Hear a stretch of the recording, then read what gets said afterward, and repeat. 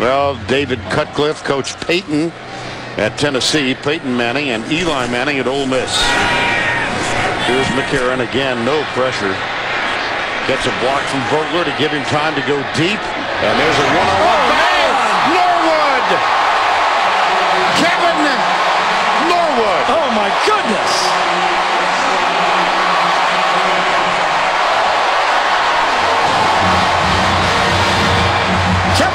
Is one of seven fifth-year seniors for this Alabama football team. They all have three national championship rings, and that one is worthy of a ring on its own. What a play! A.J. McCarron waved him on the play, but look at that catch. Fantastic. A.J. McCarron, Kenny Bell, Kevin Norwood, Anthony Stevens.